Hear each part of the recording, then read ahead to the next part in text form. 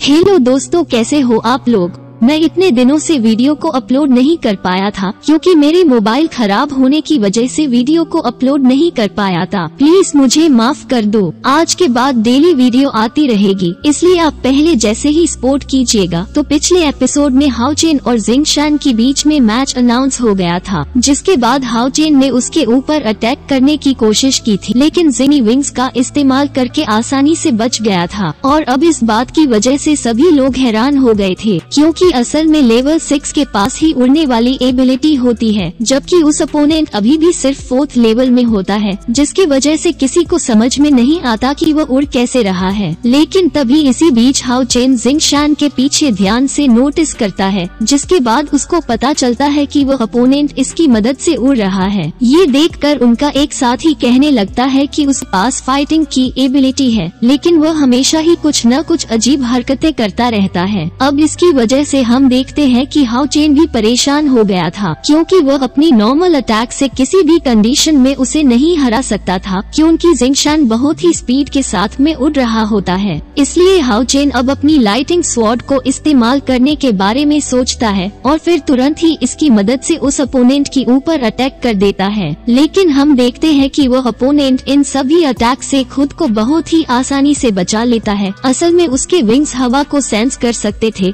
और इसी के साथ वो अपनी डायरेक्शन को अपने आप ही बदल सकते थे। अब इस तरह से जिंगशान इन सभी अटैकों से बचाने लगता है। इसे देखकर खुद हाउ चेन भी पूरी तरह से हैरान हो गया था। इसी के साथ हम देखते हैं कि बाकी लोग भी अपोनेंट की स्किल को देखकर बहुत ही ज़्यादा इम्प्रेस हो गए थे। और तभी अपोनेंट हाउ चेन से कहने लगता है कि तुम अपने अटैक से मेरा कुछ भी नहीं कर पाओगे, क्योंकि असल में उसका इक्विपमेंट किसी भी स्पिरिचुअल पावर को कंज्यूम नहीं काटा था, जिसकी वजह से वो इसकी मदद से पूरे थ्री दिन और थ्री रात आराम से उड़ सकता था। इसीलिए हाउ चेन अब अपनी इतनी कोशिश करने के बाद भी उसे कुछ कुछ नहीं कर पाता और जिखुआन इसके अटैक से खुद को बहुत ही आसानी से बचा लेता है। लेकिन हम देखते हैं कि उसके एक साथी को पता होता है कि जिखुआन ज़्यादा देर तक हाउचेन के सामने नहीं टिक पाएगा। और वही दूसरी तरफ़ जिखुआन अभी भी अपनी हरकतों से बाज नहीं आ रहा था, क्योंकि उसे लैग रहा था कि उसके उड़ाने की एबिलिटी की वजह से हाउचेन उसका कुछ भी नहीं कर पाएगा। और इसलिए वह हाउचेन से काटा है कि इस बार तुम मेरा कुछ भी नहीं कर पाओगे। इसके साथ हम देखते हैं है कि उसे अपने इस इक्विपमेंट के ऊपर बहुत ज़्यादा यकीन होता है और इसीलिए वो अपने दोस्तों के पास आकर उनसे पूछता है कि ये कैसा लगा। फिर हम देखते हैं कि बहुत से लोग जिंगशान से इम्प्रेस हो गए थे। अब इस बात की वजह से जिन दुआ भी बहुत ज़्यादा खुश हो गया था और अभी भी वह अपने उड़ने वाले एबिलिटी की वजह से बहुत मज़े ले रहा होता है। लेकिन तभी अचानक से रीफ्री उसके सामने आ जाता है और उसे काटा है कि यह एक कंपटीशन है।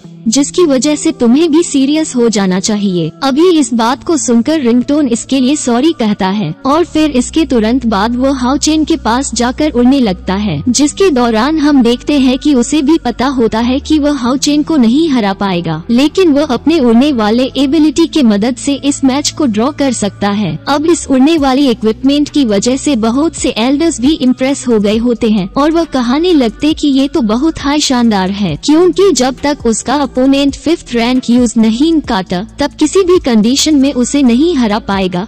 लेकिन हम देखते हैं कि एक मास्टर को इस बात के ऊपर हँसी भी आ रही होती है। वही दूसरी तरफ़ हम देखते हैं कि हाउ चेन भी इस बात से परेशान हो गया होता है, क्योंकि अभी भी वो फोर्थ रैंक में ही है, जिसकी वजह से उसे भी लगने लगता है कि वो जेकुआन के साथ में कुछ भी नहीं कर पाएगा। लेकिन तभी अचानक से उसे अपने मास्टर की बात याद आती है। जिसने हाउचेन से बताया था कि असैसिन को हरने के लिए वॉरियर के पास में बहुत से तरीके होते हैं, लेकिन उन सभी में से मेन तुम्हें केवल एक तरीके बताने वाला हूँ। जिस बात को सुनकर हाउचेन भी कुछ समय पूरी तरह से हैरान हो गया था। इसके बाद हम देखते हैं कि हाउचेन एक बार फिर से जिंगशान के ऊपर अपने लाइटनिंग स्टॉप टेक्निकल यूज़ काटा है। इसे देखकर जिंगशान कहने लगता है कि तुम इस टेक्निक से मेरा कुछ नहीं कर पाओगे। और इस बार भी वही अटैक से खुद को बचाने लगता है, लेकिन तभी हमें पता चलता है कि असल में हाउचेन का प्लान कुछ और है।